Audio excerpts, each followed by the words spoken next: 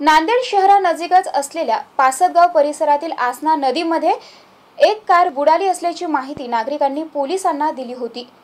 माहिती मिळताच पोलिसांनी घटनास्थळी धाव घेत क्रेनच्या सहाय्याने नदीपात्रातून कार बाहेर काढली असता यात एक पुरुष आणि एक महिला मृत अवस्थेत आढळून आले आहेत. पोलिसांनी घटनास्थळी येऊन क्रेनच्या सहाय्याने नदीपात्रातून कार बाहेर काढली असता यात एक पुरुष आणि एक महिला मृत अवस्थेत आढळून आले. दरम्यान या कारमधील पुरुषाची ओळख पटली असून गुरुद्वारा गेट नंबर दोन परिसरातील हरद हरविंद सिंग चड्डा असे या पुरुषाचं नाव असल्याची माहिती पोलिसांनी दिली असून महिलेची ओळख मात्र सायंकाळपर्यंत पटू शकलेली नाही. नांदेडहून नरेश दंडावते एमसीएन न्यूज नांदेड.